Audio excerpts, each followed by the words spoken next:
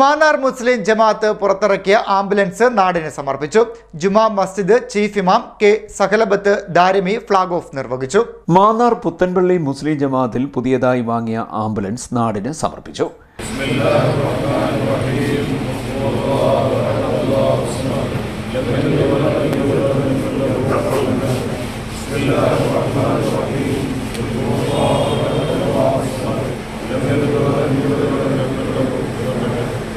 ഒട്ടേറെ ക്ഷേമ പ്രവർത്തനങ്ങൾക്ക് നേതൃത്വം നൽകി വരുന്ന പുരാതനവും പ്രശസ്തവുമായ മാന്നാർ മുസ്ലിം ജമാഅത്തിന്റെ സ്വപ്ന പദ്ധതിയായ ആംബുലൻസിന്റെ ഫ്ളാഗ് ഓഫ് ജുമുഅ നിസ്കാരത്തിന് ശേഷമാണ് നടന്നത്.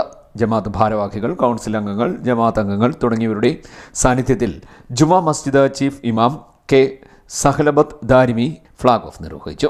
ജമാഅത്ത് അംഗങ്ങൾ നൽകി വരുന്ന നിർലോഭമായ സഹായ സഹകരണങ്ങളിലൂടെയാണ് ഇത്തരം പ്രവർത്തനങ്ങൾ ജമാഅത്ത് നടത്തുന്നതെന്ന് ഭാരവാഹികൾ പറഞ്ഞു. ജമാഅത്ത് council chairman Iqbal Kunju president Rasheed Padippurakkal vice president N A Rasheed general secretary Navas Jalal treasurer K A Salam secretary Akbar Alimuttil മറ്റ് ഭാരവാഹികളായ എൻ എ സുബൈർ താജുദ്ദീൻ കുട്ടി തുടങ്ങിയവർ പങ്കെടുത്തു.